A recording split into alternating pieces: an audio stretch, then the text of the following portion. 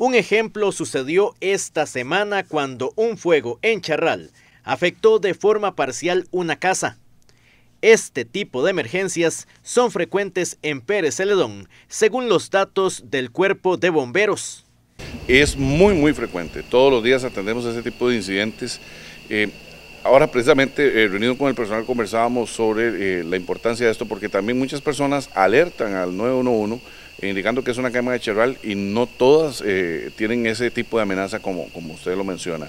Sin embargo, sí eh, lo vemos todos los días y es importante también que las personas pues realicen un perímetro de seguridad hacia sus casas, que hagan una ronda, que tengan la zona limpia, eh, para evitar que en caso de que una quema de charral esté cerca de la propiedad, pues vaya a tener una afectación como la que mencionaba ayer de, de 4 metros en una propiedad. Ha, sucedido en muchas ocasiones que un incendio estructural se da como, como desenlace de una quema de charral eh, mal manejada, que pudo haber sido provocada este, por una quema de basura que, muchas veces este, se da en las zonas para, quitar hojas o para quitar un pasto que fue recortado, o que es una técnica para limpiar el terreno también, entonces se prende el charle para que se queme y con eso quitar la maleza, sin embargo se sale de control y se acerca a, estructuras provocando ese, ese tipo de daño.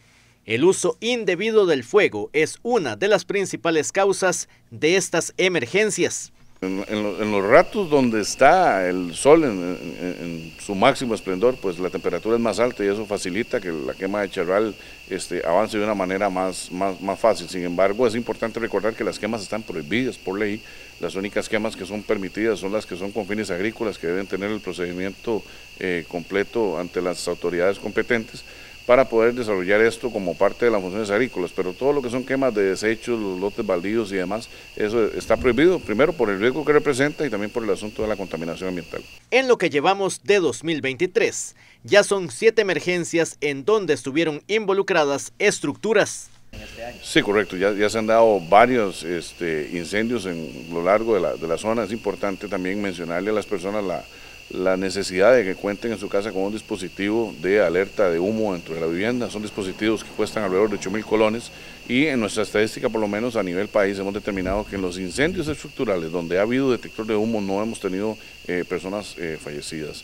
Entonces es eficiente la alerta temprana para que la persona pueda evacuar y con esto evitar que vaya a sufrir lesiones. Sumamente sencillo, es un aparato, eh, como le digo, de un bajo costo, es ponerlo en el punto más alto de la vivienda, funciona con una batería cuadrada, no, requiere cableado ni nada y no requiere mantenimiento más que una vez al año tal vez cambiar la batería. Entonces es bastante práctico y muy funcional. Las condiciones secas que imperan durante estos días, acompañado de altas temperaturas, ameritan cuidados especiales cuando se trata del manejo del fuego.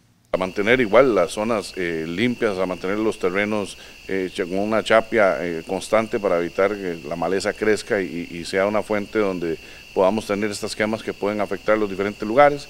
es importante también estar verificando que personas no lleguen ahí con, con, intenciones de estar quemando, que hay gente que también lo hace hasta como, como por un hobby y este, produce la afectación que le decía tanto del riesgo para la la naturaleza como para el ambiente y también para las estructuras y las personas que podrían ver afectados sus, bienes.